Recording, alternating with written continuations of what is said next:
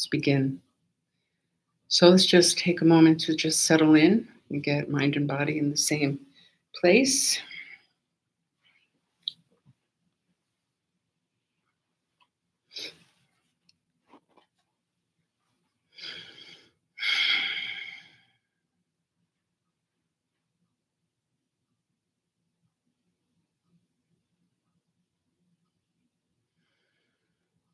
And we want to begin by establishing our bodhicitta motivation.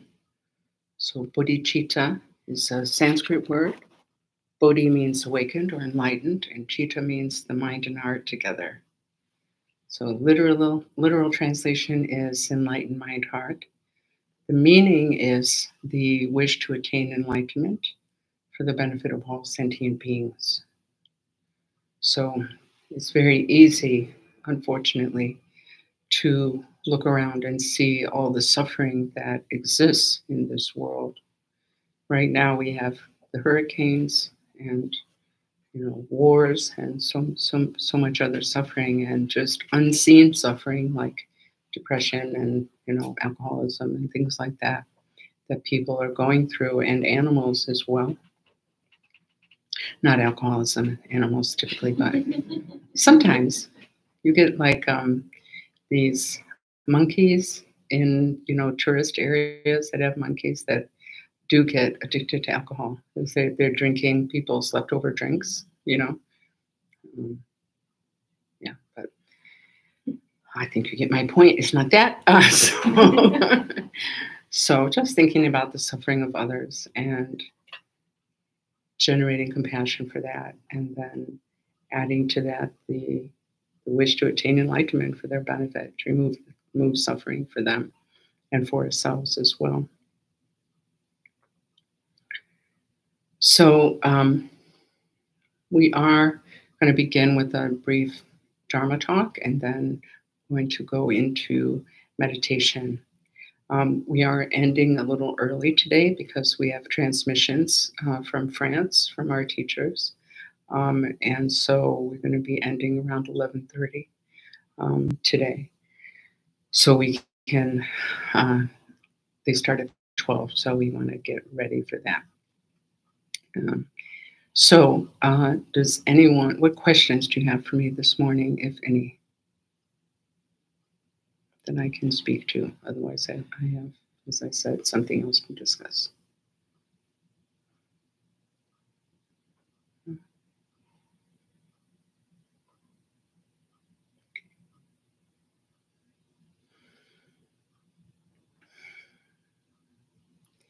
So today I want to talk about being good enough.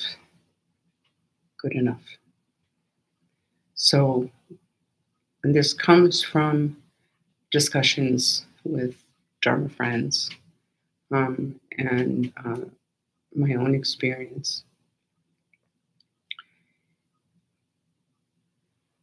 As I just began here, you know, Buddhism has very high um, high goals, right?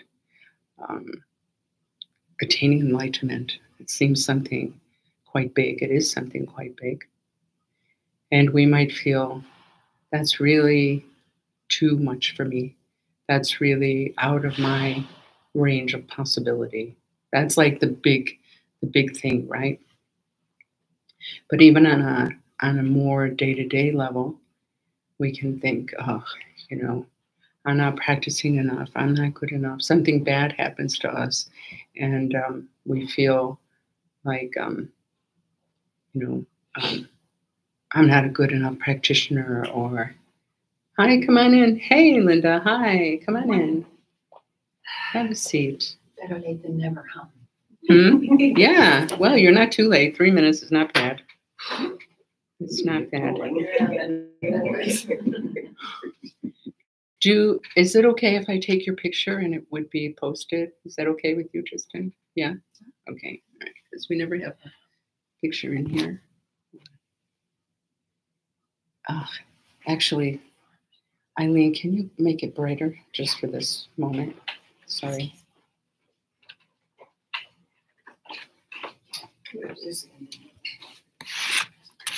Great. Good. Thanks. That's better. This room is so yellow. you know, all the pictures look really yellow in here. Let's see. you didn't get out of it. Oh, I know you wanted to get out of it, but you didn't. Yeah, Okay, thanks. yeah, I thought I was. Nope, don't worry. Noticed I didn't run back there. No, I know. I was like, oh, your number. Try to, maybe Eileen, sorry. Can you take one from the doorway looking in? Sure. Thanks. Sorry about that. Ani Palmo, I have Yes. a question. Yes, May I use one of the bolsters to set rest my feet on, or is that? of course. not Yes, no, go right ahead. Thank you so much. You're There you go. My feet don't touch the floor. Oh. I can sit back in the chair. Do little shorty pants? I didn't know Well, that. When you sit back, you're like, wow. Ah. Thank you. Right, it's settled. Okay, thanks. Thank you so much. All right, so as I was saying, uh, so as far as enlightenment goes, that is a step-by-step process. That is a one step at a time process. So it can seem really big from where we stand, but it is doable. And the fact that it is doable is provable, meaning, you know, there have been countless enlightened beings already, and there are enlightened teachers in our day who we can, you know, access and observe and learn from. So, you know, it is something that is possible. Will it take a long time? Probably for most of us, yes. It depends on our past. It depends on our, you know, how much we've practiced in previous lives. We could attain enlightenment just, you know, like that, if all the conditions are right and we have, you know, done the work for that. Most of us are not really at that point. That doesn't mean that it's not possible. It doesn't even mean that it's not possible in this life. Okay. Um, so it, it can seem, as I said, very big, very far away, but there are a lot of steps to get to that point. And any progress that we make in this life takes us closer to that goal. It's not wasted, the work that we do in this life. Okay? So if you think now, like, oh, I would like to be in Paris, you know, Paris is very far away, you know, and you can feel like, oh, that's not possible. But there are a lot of little steps that we take to get to Paris, you know, saving money and buying tickets and going to the airport and packing our stuff. So- potty mouth, sorry. So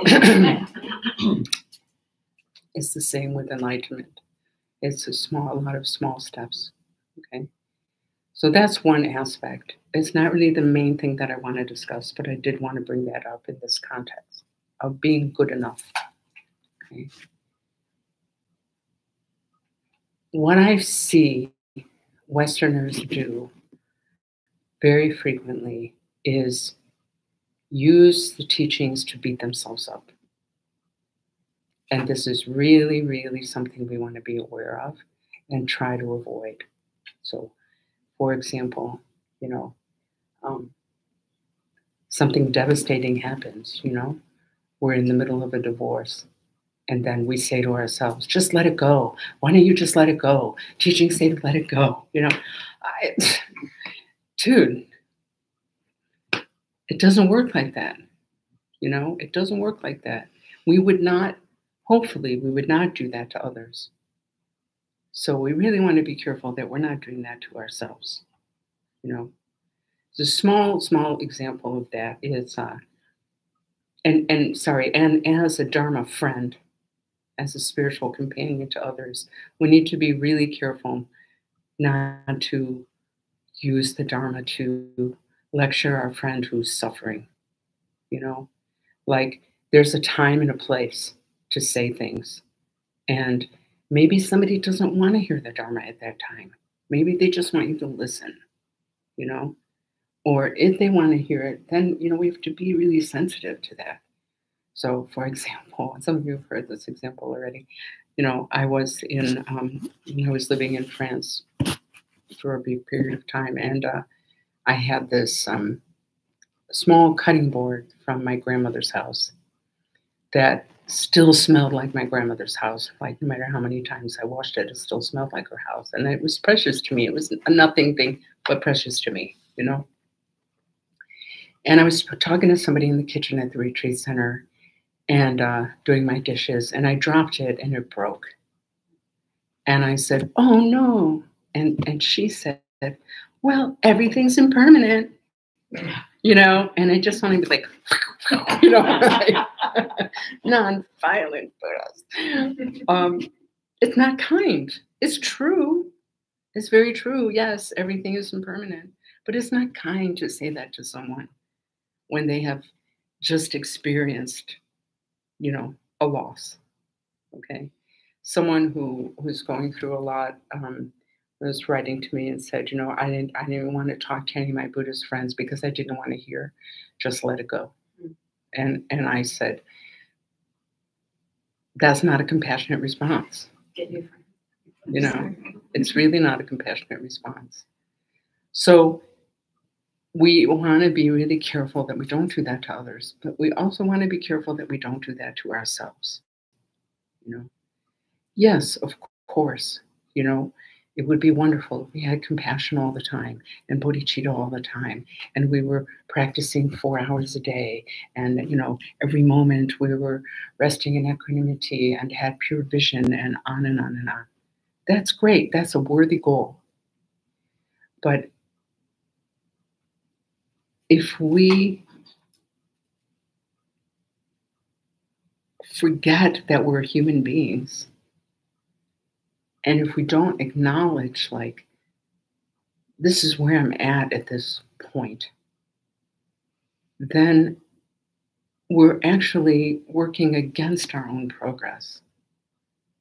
We might feel like, oh, it's I'm going to progress if I beat myself up with the teachings, if I compare every every thought and you know action that I take against like what a perfect practitioner would do.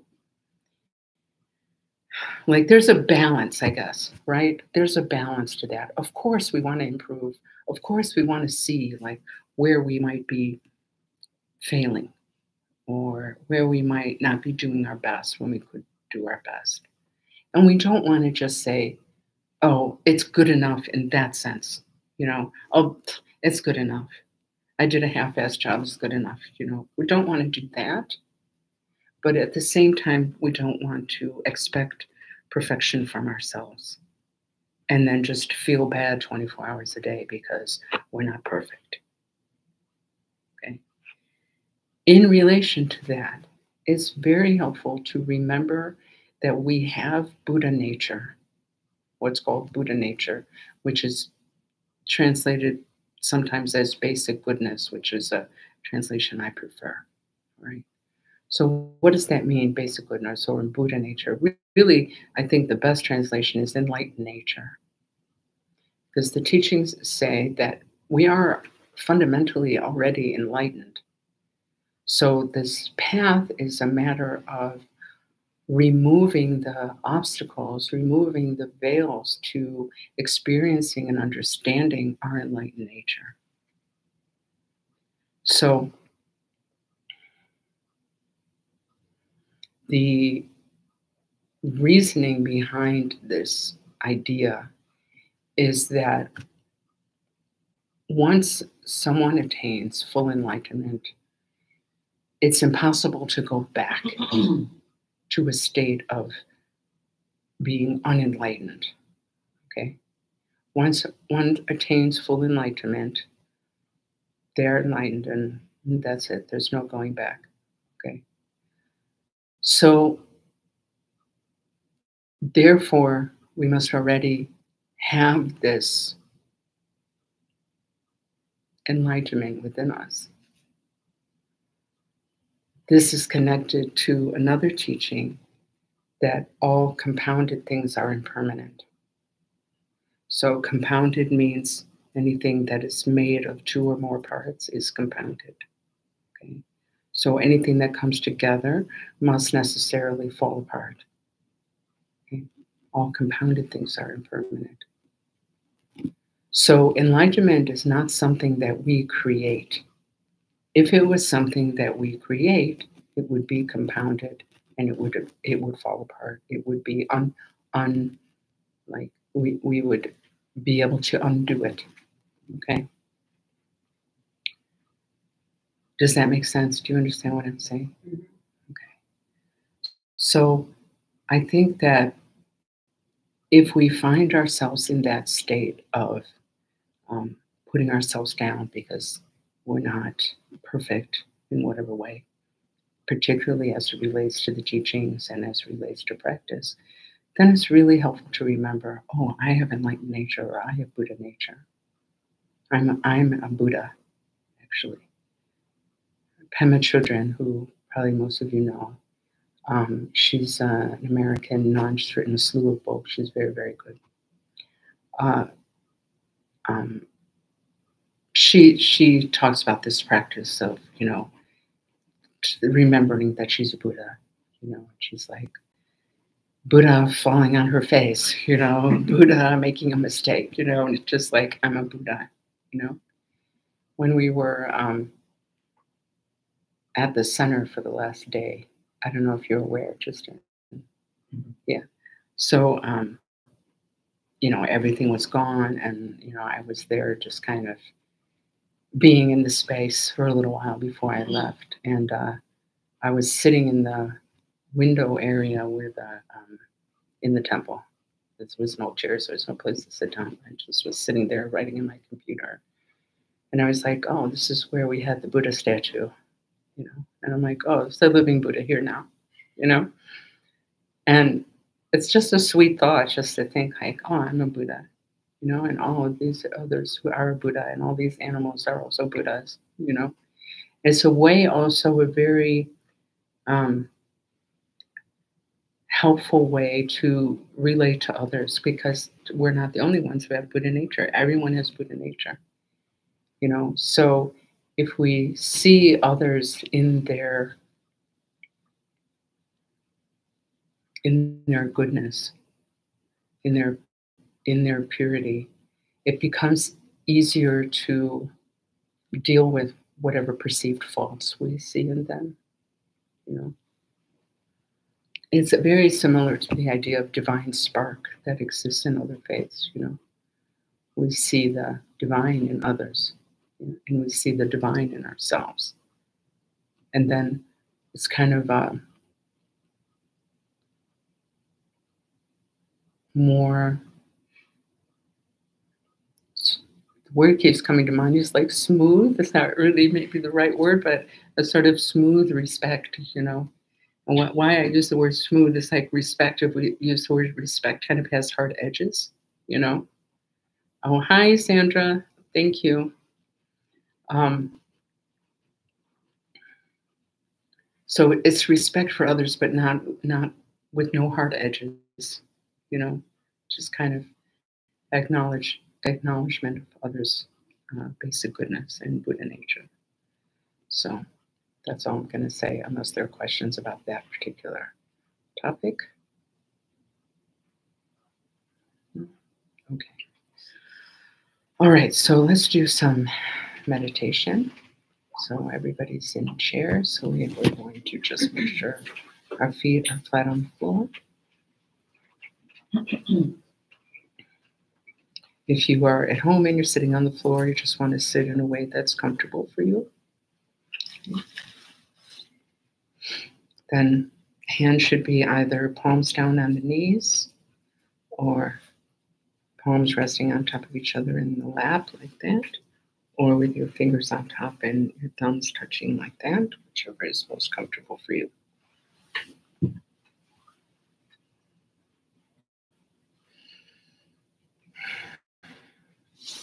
Arms are relaxed. Back is straight, but relaxed. Back of the neck is also straight and the chin is tucked in a little bit. Shoulders should be back slightly. So normally what I do is just roll my shoulders back one time And you can feel right away it kind of opens up your chest a little bit. Mouth is closed but relaxed, tongue resting on the roof of the mouth, breathing through the nose. Ideally, the eyes are open, looking down in front of you a few feet, just a relaxed, lowered gaze.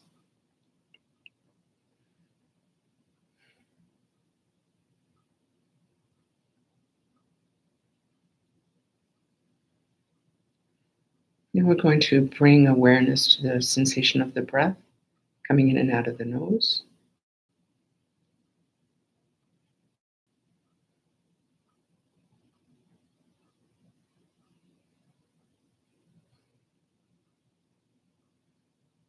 And that sensation is going to be the focus of our awareness.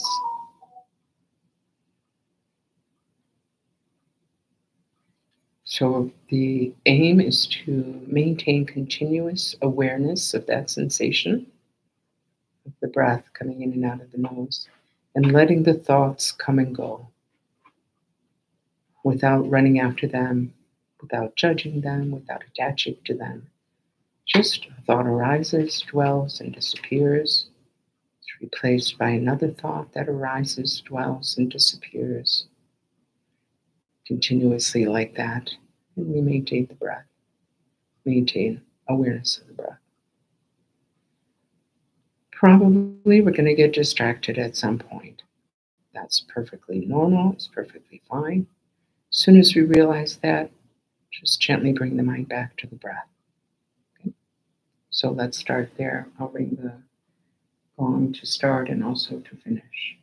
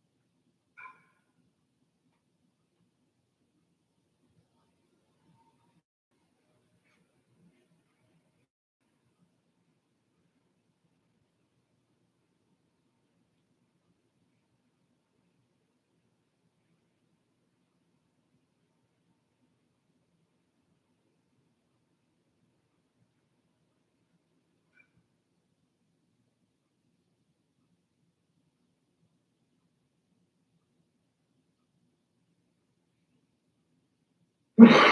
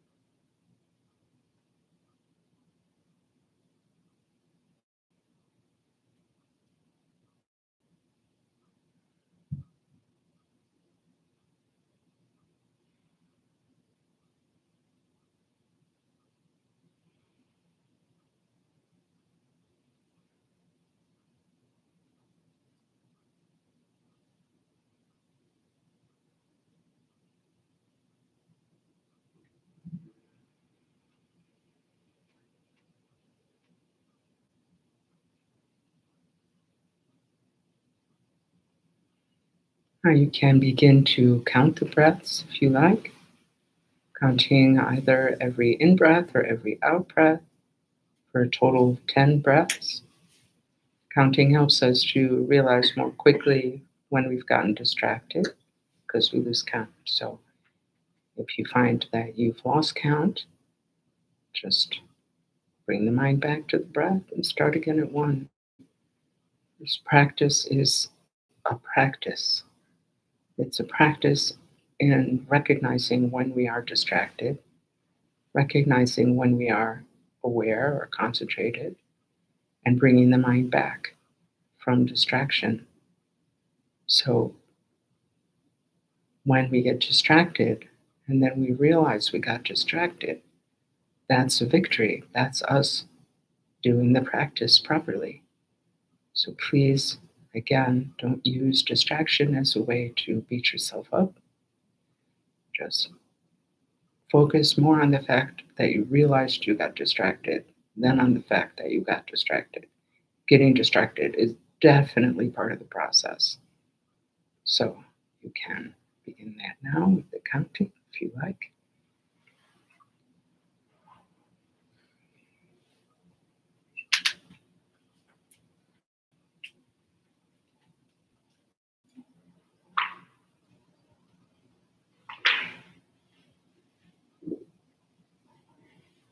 you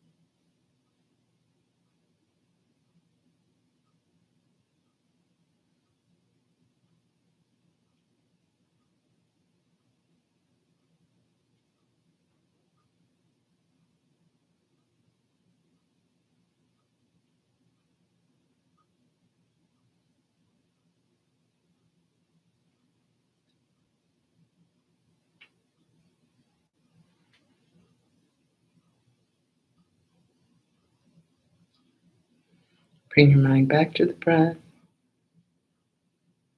Body should be as relaxed as possible while maintaining the posture. Mind should be as relaxed as possible while maintaining awareness of the breath.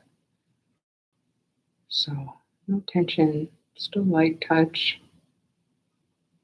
We're aware of the breath, but we're also aware of our surroundings, different sounds, sensations, but mainly the breath.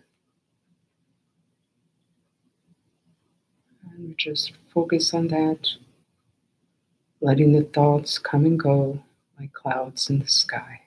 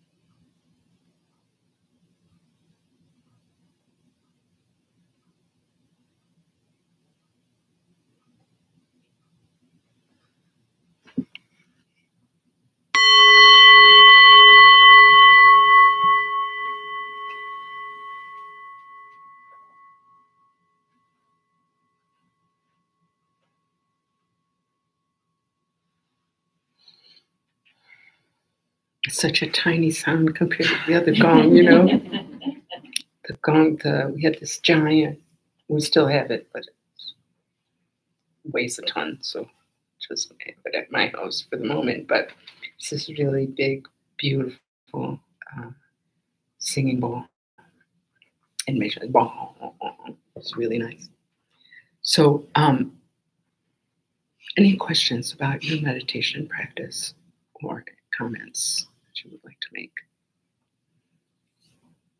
Okay. So, one of the main benefits of meditation is that we, through practice, we begin to see that we are not our thoughts and emotions. Okay. Normally, we very strongly identify with all of our thoughts and emotions without question. We don't question it, you know? It's just, uh, I am angry, I am depressed, I am this, I am that, you know? And so they have a power, an unnecessary power over us. And we end up just reacting in the world instead of responding with choice, right? We have these just um, habitual responses, like knee jerk reactions to our life, to things that happen to other people, to ourselves. And through meditation, we begin to see that these thoughts and emotions are not real, they're not solid, they're not permanent. They're just, like I said, like clouds moving through the sky. And so they begin over time to have less power over us and we begin to have more choice and more control in our life, how we want to be, even how we want to think, how we want to speak. All of that is connected to meditation. It's one of the reasons, one of the many reasons why meditation is so important. It's also important to remember that meditation is a skill that is improved through practice. That's why it's called practice, right? And, you know, if possible, it's really great if we can meditate every day, even for a few minutes, you know, but to do it on a daily basis, um, again, if possible, uh, is really, really, really helpful. We keep that momentum going. We come once a week to a group meditation like this and sort of get a little jolt of, you know, whatever injection of base, half bass. but my friends, some of you know Ron and UC. Yeah, they they came up with a, a fundraising idea that we may use at some point called um, Finding Dinner Peace, where we would have like a lesson in how to cook vegan food and then we could eat vegan food together. So I kind of dig it. It's pretty cool finding dinner peace. So, yeah. So meditation, it might seem, well, not just seem, it is. It's something very simple, not always easy, but very, very simple. Mindfulness of breathing practice. Just watching your breath, letting the thoughts come and go. There's not much to it, you know. But at the same time, it's extremely powerful really extremely powerful. We, uh, you know, like what I already said, we start to realize like, oh, I'm not my thoughts and emotions, and I can sit through these things, or I can experience them and let them go. But also, it helps us to inc- just increase our concentration, just our general concentration in day to day life, our awareness, because we start to notice more quickly oh, I'm totally distracted. I'm just like on another planet, you know? And we bring the mind back to whatever it is we're doing. It also is a big aid in in in having compassion for others, actually. because for in so many ways, you know, one is that the more that we meditate, even simple meditations like mindfulness breathing practice, the more we sort of learn to see how our own mind functions, right? How anger is suffering, how um, you know how it feels to be full of anxiety, all of these things that we experience, but we rarely look at. You know, we rarely take the time to really look at those things. And seeing those things, we learn more about how others function. And we all are individuals, we all have different thoughts and emotions and so forth, but anger is anger is anger. You know, we might get angry about different things. The intensity, the frequency of our anger might might differ, but we know what anger is. We all know what anger is. So if we learn like in our own mind, like, oh, this when I'm angry, I'm actually really suffering, and we can have compassion for others who are angry, which we almost never do. Right? Um, so in that aspect, it helps us develop compassion for others, and just in the awareness aspect, also, because when we you know, in, in Shantideva's text, this one, the way the Bodhisattva, which some of us are studying together. Um,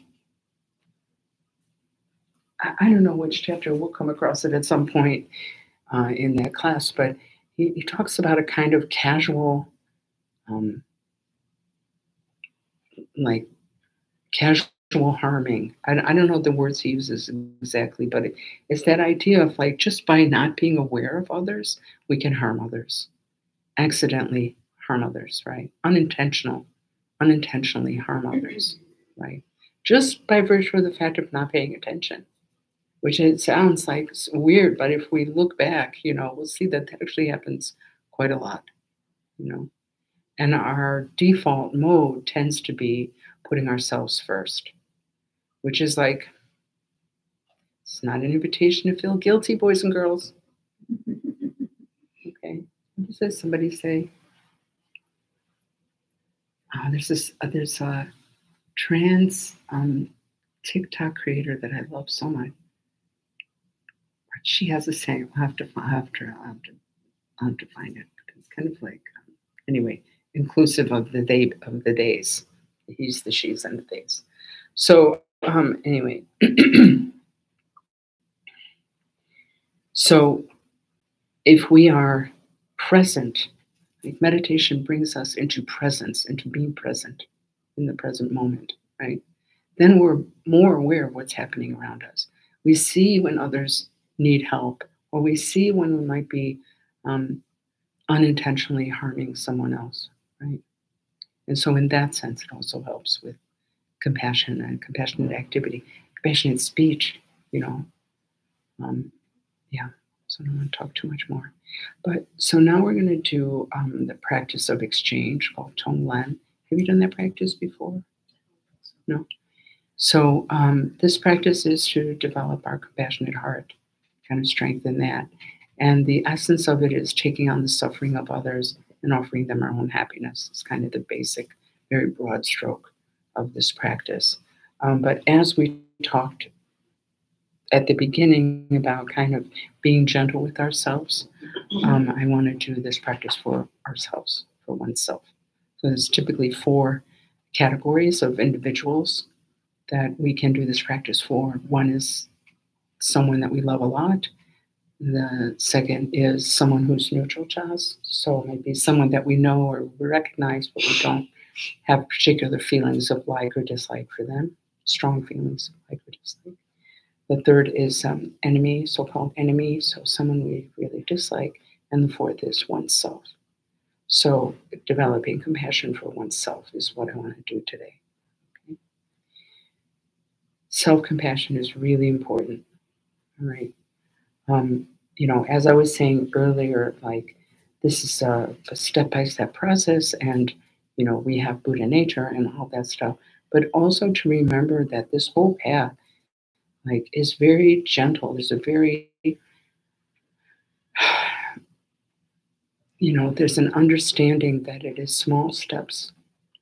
And, you know, there isn't a single passage in any of the teachings where the Buddha, where the Buddha or another advanced being is is um, yelling at us, you know, and and um, just putting us down. It's not never ever about that.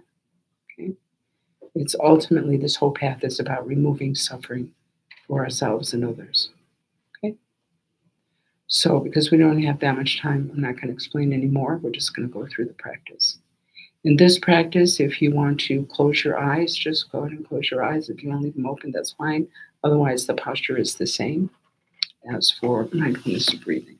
Okay? So we're going to begin by, pardon me, um, I'm going to begin by, again, just bringing mind and body together. Bring awareness to the sensation of the breath.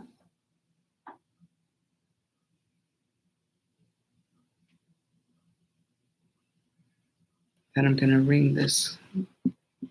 I just call it a gong because it's easier to say than singing bowl. Ring the gong, listen to the sound as long as you can hear it, and then just let the mind settle, just let the mind rest. Okay.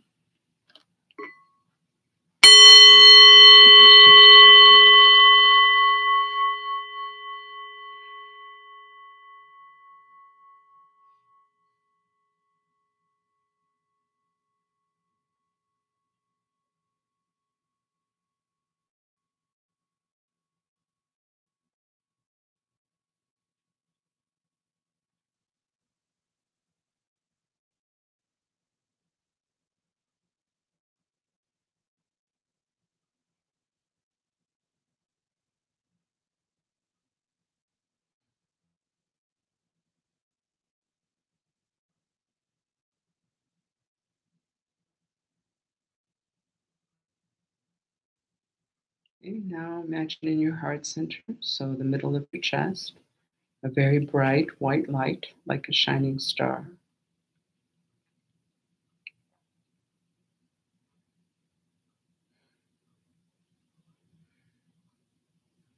Then consider that you're breathing in gray smoke, hot, dark, and heavy through all the cores of your body.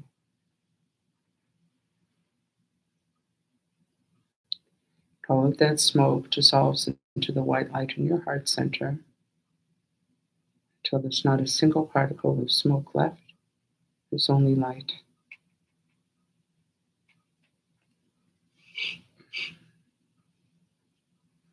Me, then consider that you're breathing out this white light, cool, clean, clear, very bright, through all the pores of your body.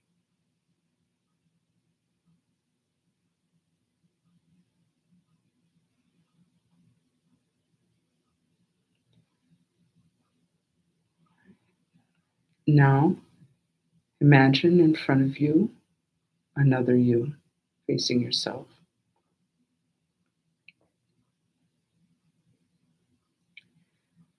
So, the you that is meditating is the part of you that is in touch with your Buddha nature, your basic goodness, your innate wisdom and compassion. And the you that you are visualizing is the part of yourself that is suffering and confused, in pain.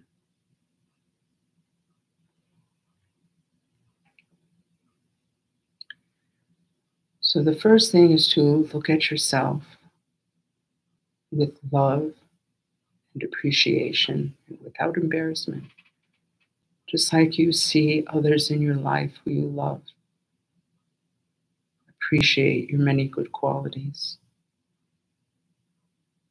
your kindness, intelligence, and so forth.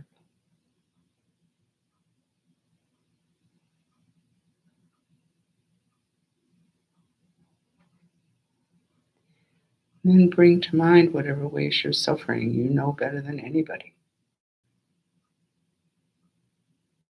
Physically, mentally, emotionally, whatever you're going through.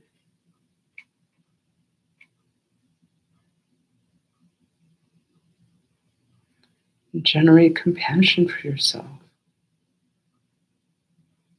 forming the wish that you be free of these sufferings, that you be happy and at peace.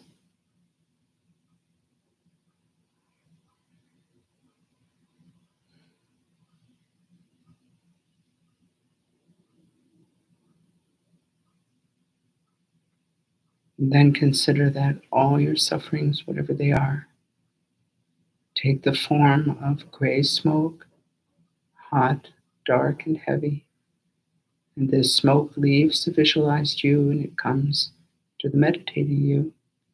And you breathe that in through all the pores of your body.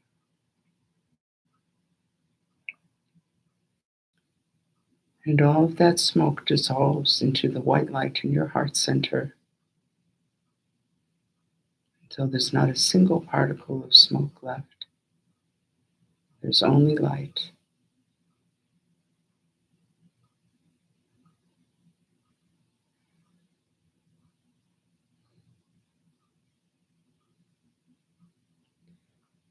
And then you offer yourself happiness, peace, healing, joy, and adding to that the wish that you attain full enlightenment in this very lifetime. And all of that takes the form of white light, cool in temperature, clean, clear, very bright light in weight. And you breathe out this white light through all the pores of your body. And the light goes from the meditating you to the visualized you. And when the rays of light touch the visualized you, you see all of your suffering just lifting off of you and disappearing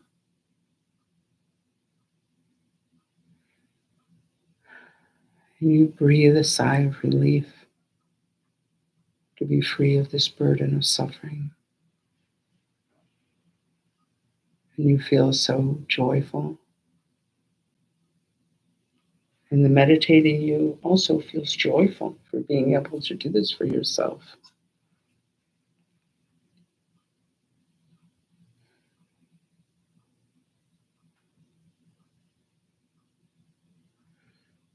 Now extend that out towards all beings. First, imagining them all around us, front, as many beings as you can conceive of, stretching all the way to the horizon. To the right, again, as many beings as you can imagine, all the way to the horizon. Behind, countless beings all the way to the horizon and to the left. As many beings as you can imagine, all the way to the horizon.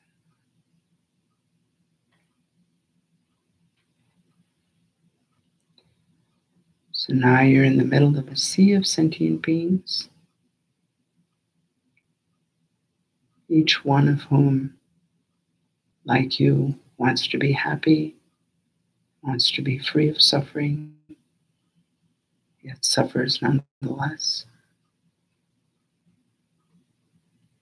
And so we consider all these sufferings take the form of gray smoke again, hot in temperature, heavy in weight, dark. Leaves all of them, it comes to you. A great deal of courage and love and compassion Breathe that in through all the pores of your body.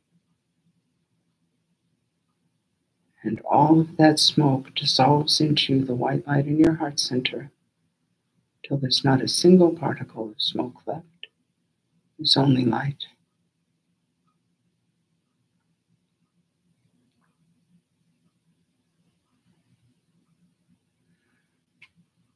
Then you offer all of these beings your own happiness, giving it away, your own good fortune, along with anything at all that they may need, and adding to that the wish that they attain full enlightenment in this very lifetime.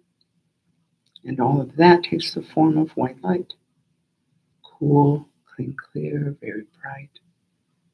And you breathe out this white light through every pore of your body. It goes in all directions as far as the eye can see.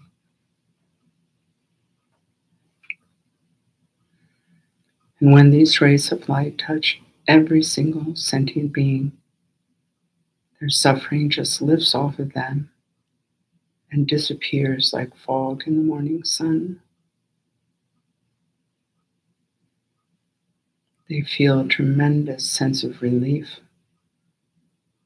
for being free of suffering and deep peace and joy. And you also feel very joyful for being able to do this for them.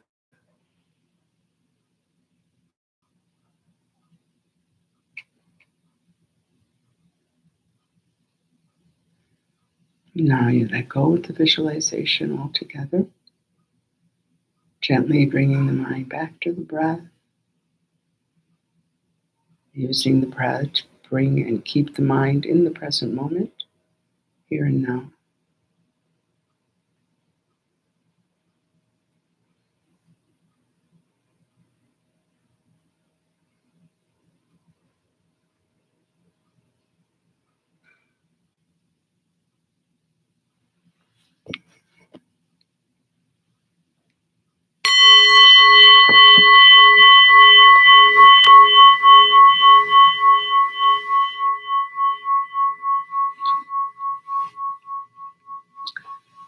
You, Sharon. So Sharon's gonna um, pass around the closing prayers. If this is not your jam, that's totally fine. Thank you. You don't have to join us. You don't have to join us. We begin with um, prayers for the long life of His Holiness the Dalai Lama. These four prayers are for Dalai Lama and our two main teachers, and then all the teachers. If you're watching on YouTube, you will find a link to these prayers in the description. In the description below. Oh, I feel like a YouTuber. subscribe, like, and subscribe. Okay, so, okay, so we'll say these prayers then. Kanri wa we koe shinkan su pandan de wa manu juwe ne. Chene si wan de zen kyam so yi.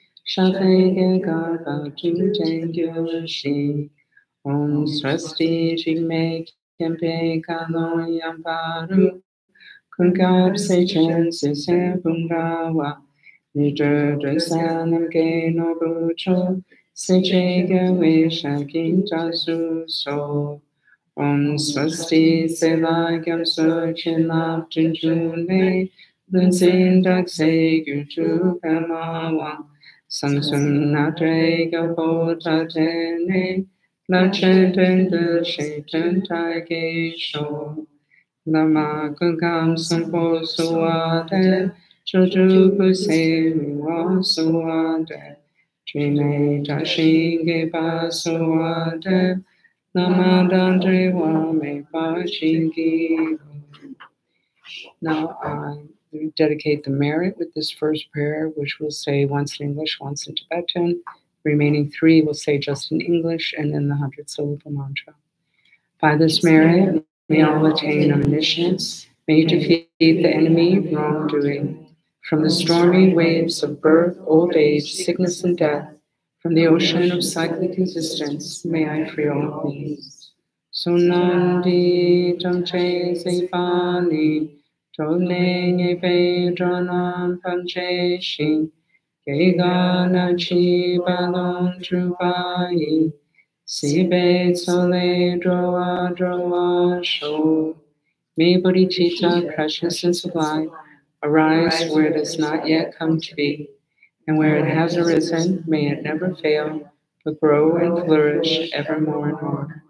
As long as space endures, as long as sentient beings remain, until then may I too remain and dispel the miseries of the world, ever absorbed in the display of divine forms and primordial awareness, appearance, sound, and perception in the state of divinities, mantras, and dharmakaya. May I, inseparable from the practice of the profound and secret great yoga, attain within the essence of mind the state of oneness. Om Vajra Sattva Samaya Manupalaya Vajra Sattva Tenopa Tishta Trito Me Bhava Suto Kayo Me Bhava Supo Kayo Me Bhava Anurakto Me Bhava Soa Siddhi Me Prayatsa Soa Kama Sutsa Me Chitam Shriyam Kuruham ha ha ha ha ho bhagavan Savadattagata Vajramame Munsa Vajri Bhavama Samaya Sattva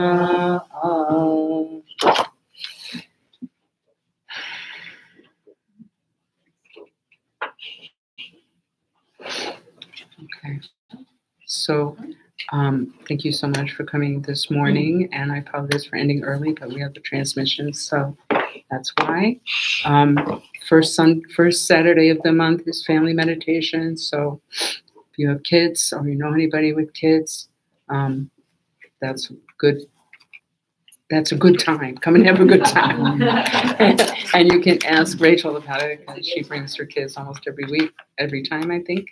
The remaining three Sundays are group meditation like this. Normally we go till 12. Um, we hope to be uh, doing a, a, a Thanksgiving, our typical vegan Thanksgiving potluck, but we don't know where. So we need to start thinking about that because that's coming up like quickly. Sooner than we think. Yeah. So um, I'm not exactly sure where we're going to do that, but we'll figure it out. So um, that's always been like one of my favorite things. Everybody getting together and making a vegan Thanksgiving dish, and there's I always include a link of just a bajillion different recipes that are um, beautifully veganized for that. So um, yeah, it's just a chance to you know socialize, get together, have a have a nice time. So please be looking out for that. And um, and that's it. Thank you so much for coming, and thank you to the ladies for setting up and also taking down. If they, if you want any help, you could maybe help them to to dismantle this thing. Thank you. Thanks. Thank you. You two bites. Bye. I don't know how to. There we go. Okay.